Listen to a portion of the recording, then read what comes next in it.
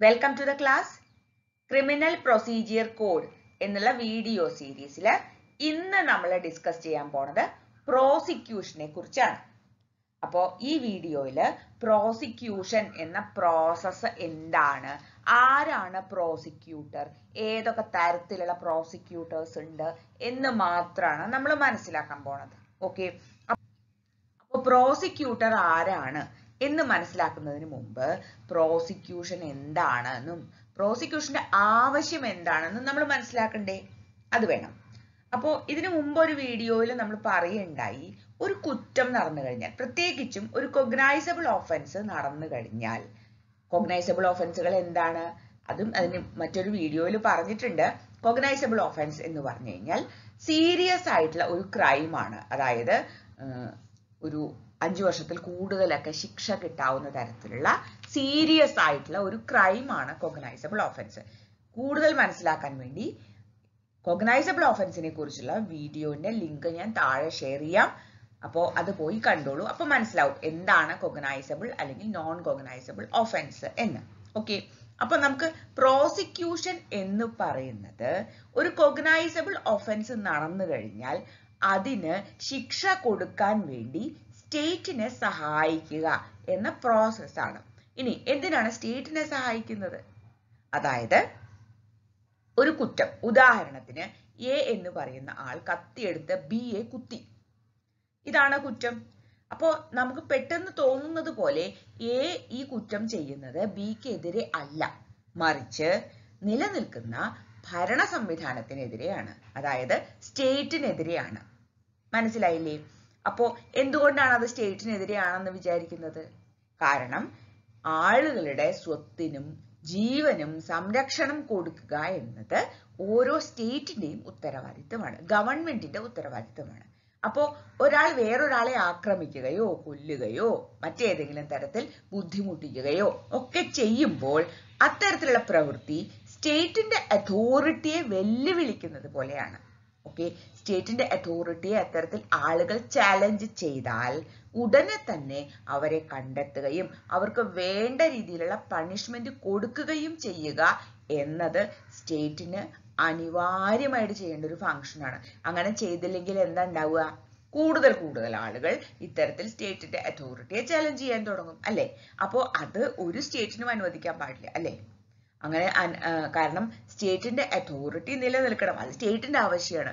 അപ്പോൾ ഗവൺമെന്റുകൾ എപ്പോഴും അവർക്ക് നേരെ അല്ലെങ്കിൽ അവരുടെ അധികാരത്തിന് നേരെയുള്ള ഇത്തരത്തിലുള്ള ചാലഞ്ചുകളെ പണിഷ് ചെയ്യുക എന്നൊരു പോളിസിയാണ് ഫോളോ ചെയ്തിട്ടുള്ളത്. അങ്ങനെ ചെയ്യാൻ വേണ്ടി ഗവൺമെന്റിനെ സഹായിക്കുകയാണ് പ്രോസിക്യൂഷന്റെ ഉത്തരവാദിത്വം. ഇതിൽ നിന്ന് നമ്മൾ എന്താണ് മനസ്സിലാക്കിയത്? കുറ്റം നടന്നു കഴിഞ്ഞാൽ ഗവൺമെന്റിനു വേണ്ടി ആ കുറ്റം തെളിയിക്കുന്ന ഗവൺമെന്റിനു വേണ്ടി ആ കുറ്റം തെളിയിക്കുന്ന അഭിഭാഷകനാണ് പ്രോസിക്യൂട്ടർ. ഓക്കെ അപ്പൊ ഇനി നമുക്ക് കൂടുതൽ വിസ്തരിച്ച് നോക്കാം. ആരൊക്കെയാണ് എന്തൊക്കെയാണ് okay. Public prosecutor. Public prosecutor എന്നത് എല്ലാവരും കേട്ടിട്ടുണ്ടാവും അല്ലെ?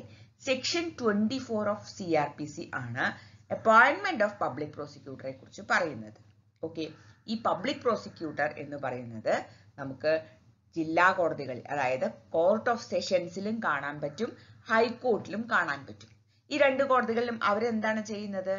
അതാത് കുറ്റങ്ങളുമായി ബന്ധപ്പെട്ട് പ്രൊസീജിയർ നടത്തുകയും അതിനാവശ്യമായ തെളിവുകൾ ശേഖരിക്കുകയും.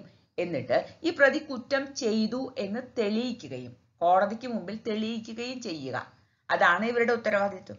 ഓക്കെ അപ്പോ സെക്ഷൻ ട്വന്റി ഫോർ പ്രകാരം ഒരു പബ്ലിക് പ്രോസിക്യൂട്ടറെ അപ്പോയിന്റ് ചെയ്താൽ ആ പബ്ലിക് പ്രോസിക്യൂട്ടർക്ക് ആ കേസ് നടത്താൻ ആവശ്യമായ തെളിവുകൾ ശേഖരിക്കാൻ പോലീസിനെ അഡ്വൈസ് ചെയ്യാം. മറ്റ് ഗവൺമെന്റ് ഓഫീസേഴ്സിനെ അഡ്വൈസ് ചെയ്യാം. ഇതൊക്കെ section three zero one section three twenty one തുടങ്ങിയ സെക്ഷൻസിലാണ് പറയുന്നത്. അതായത് പബ്ലിക് പ്രോസിക്യൂട്ടർ എന്തൊക്കെ ചെയ്യണം? കേസുമായി ബന്ധപ്പെട്ട ഫയലുകളൊക്കെ ശേഖരിക്കണം. തെളിവുകളൊക്കെ കളക്ട് ചെയ്യ തെളിവുകൾ അതായത് പോലീസ് കളക്ട് ചെയ്ത തെളിവുകളൊക്കെ പരിശോധിക്കണം. എന്നിട്ട് കോടതിക്ക് മുമ്പിൽ അതൊക്കെ പ്രസന്റ് ചെയ്യുകയും ഈ പ്രതി കുറ്റം ചെയ്തു എന്ന് തെളിയിക്കുകയും വേണം. ഓക്കെ ഇതിനു വേണ്ടി അപ്പോയിന്റ് ചെയ്ത ഒരു പബ്ലിക് പ്രോസിക്യൂട്ടർക്ക് ആ കോടതിയിൽ ഹാജരാവാനുള്ള അധികാരമുണ്ട്. എന്ന് മാത്രമല്ല സെക്ഷൻ ത്രീ ട്വന്റി വൺ പ്രകാരം കോടതിയുടെ പെർമിഷനോടുകൂടി ഏതെങ്കിലും ഒരു കേസ് വിഡ്രോ ചെയ്യാനുള്ള അധികാരവും പബ്ലിക് പ്രോസിക്യൂട്ടർക്ക് ഉണ്ട്. ഓക്കെ ഇനി പബ്ലിക് പ്രോസിക്യൂട്ടർ ഹൈക്കോടതികളിൽ അപ്പോയിന്റ് ചെയ്യുന്നത്. ഞാൻ പറഞ്ഞല്ലോ സെക്ഷൻ ട്വന്റി ഫോർ പ്രകാരം ഇവരുടെ അപ്പോയിന്റ്മെന്റിനെ കുറിച്ചൊക്കെ പറയുന്നുണ്ട്. അപ്പോൾ സാധാരണയായി ഇവരുടെ ക്വാളിഫിക്കേഷനും പറയുന്നുണ്ട്. അതായത് ഹൈക്കോടതികളിൽ ഒരു പബ്ലിക് പ്രോസിക്യൂട്ടർ അപ്പോയിന്റ് ചെയ്യണമെന്നുണ്ടെങ്കിൽ മിനിമം ഏഴ് കൊല്ലമെങ്കിലും പ്രാക്ടീസ് ഉള്ള ഒരു അഡ്വക്കേറ്റ് ആയിരിക്കണം. അത് മാത്രവും പോരാ. ഈ ഹൈക്കോടതികളിൽ പബ്ലിക് പ്രോസിക്യൂട്ടറെ അപ്പോയിന്റ് ചെയ്യുന്നത് state government in consultation with ഹൈക്കോർട്ടാണ് അതായത് സ്റ്റേറ്റ് ഗവൺമെന്റ് അപ്പോയിന്റ് ചെയ്യുന്ന പബ്ലിക് പ്രോസിക്യൂട്ടർക്ക് സ്റ്റേറ്റ് ഗവൺമെന്റുമായി ബന്ധപ്പെട്ട കേസുകളിൽ മാത്രമേ ഹാജരാവാൻ പറ്റുള്ളൂ. അതല്ലാതെ സെൻട്രൽ ഗവൺമെന്റിന് വേണ്ടി ഹാജരാവുന്ന പബ്ലിക് പ്രോസിക്യൂട്ടേഴ്സ് ഉണ്ട് ഹൈക്കോടതിയിൽ അവരെ സെൻട്രൽ ഗവൺമെന്റ് ആണ് അപ്പോയിന്റ് ചെയ്യുന്നത്.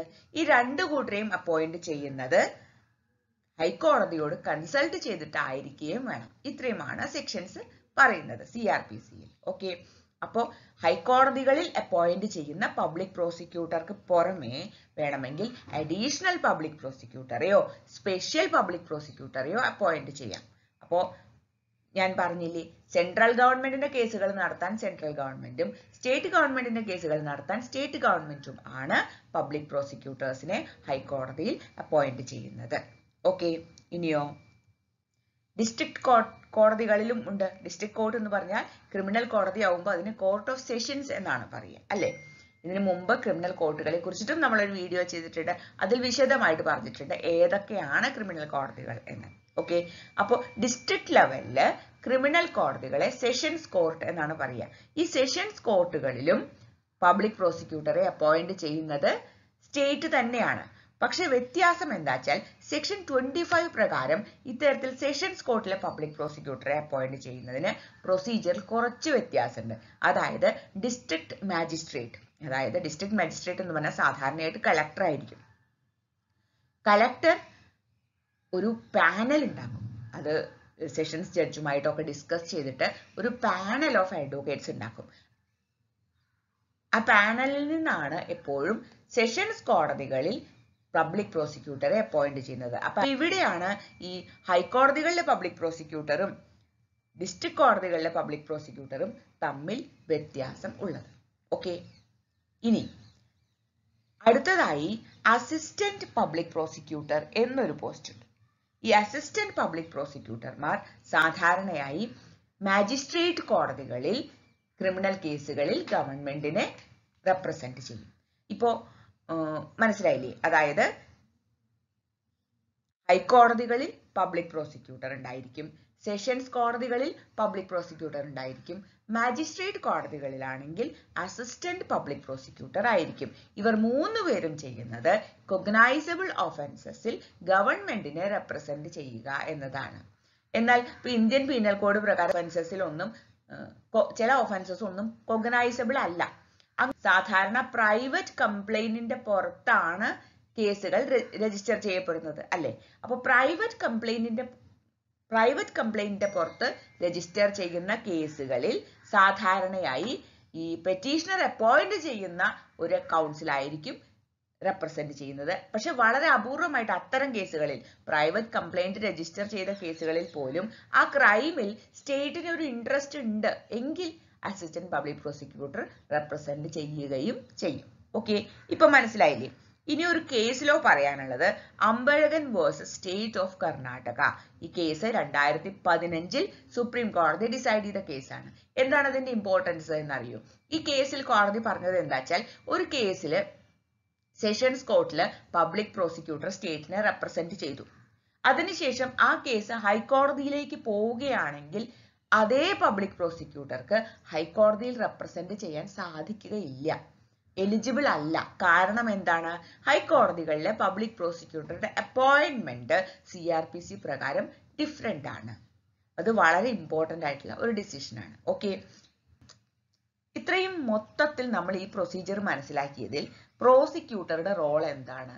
ഇപ്പോൾ നമ്മൾ പറഞ്ഞു കേസുമായി ബന്ധപ്പെട്ട തെളിവുകൾ ശേഖരിക്കണം സാക്ഷികളെ റെഡിയാക്കണം. എന്നിട്ട് ഈ എന്നിട്ട് ട്രയൽ നടക്കുന്ന സമയത്ത് സാക്ഷികളെ വിസ്തരിച്ചും തെളിവുകൾ ഹാജരാക്കിയും കേസ് ആർഗ്യൂ ചെയ്തും ഒക്കെ ഈ കേസ് തെളിയിക്കണം.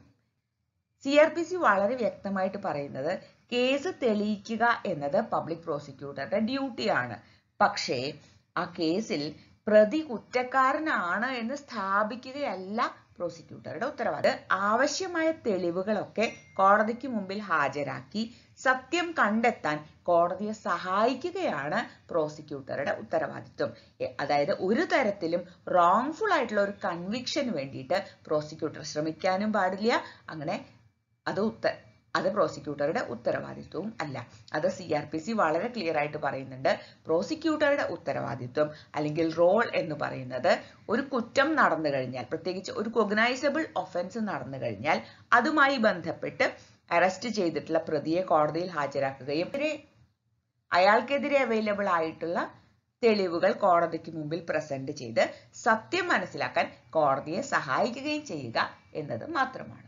ഇപ്പൊ മനസ്സിലായില്ലേ? റോൾ ഓഫ് ദ പ്രോസിക്യൂട്ടർ നിങ്ങൾക്ക് എന്തെങ്കിലും സംശയങ്ങളോ സജഷൻസോ ഉണ്ടെങ്കിൽ please make use of my comment box I be very happy to help